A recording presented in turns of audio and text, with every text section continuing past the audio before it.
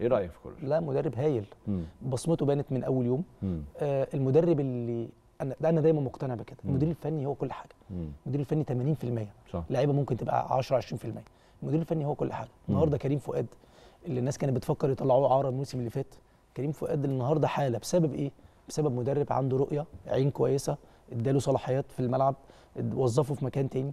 اتحول كريم فؤاد بقى لعيب النهارده الناس بتطالب إنه يبقى موجود في منتخب مصر وناس زعلان إن هو مش موجود فده بسبب مدير فني صح جاب جاب متولي من من من يعني من, موجود من. آخر الدنيا آه. جاب متولي وفرضه على التشكيل وعمل مباراة سوبر بشكل كبير جدا لأن متولي فعلا. إمكانياته هايلة بيعرف يبني من تحت كورته حظه وحش سليمه قوي في الإصابات يا كابتن حظه في. لعيبة كده من 2019 في لعيبة كده يعني على مدار التاريخ هتلاقي لعيبة كده مش مم. مش محظوظة مم. بس برضو خلينا من من من عشان الموضوع ده ما يمسكش فيه قوي خل ربنا يكرمه ويرجع بسرعة بقول حظه وحش آه، على فكرة آه. اصله بالمناسبة عشان في بعض الناس بتخلط كويس إن أنت قلت ال- الملحوظة دي الناس تتصور إن محمود متولي مثلا عنده إصابة مزمنة آه هو لا كل إصابات محمود متولي غير بعض آه، صح فعشان كده بقول حظه وحش صح، يعني صح. عارف مثلا لو إصابته متكررة لا أنا عادي أنا هقدر أطلع أقول والله الاهلي مش قادر يستفيد منه عشان عنده إصابة بتتكرر صح بس الراجل ده جاله مزق في الخلفية مزق في الأمامية رباط صليبي كل الإصابات مختلفة تماما عن بعضها فده في لعيبة. كده بيبقى حظها.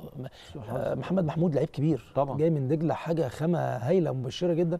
إصابات برضو عطلته بشكل كبير جدا ففي لعيبة فعلا موضوع الإصابات ده بيأثر عليها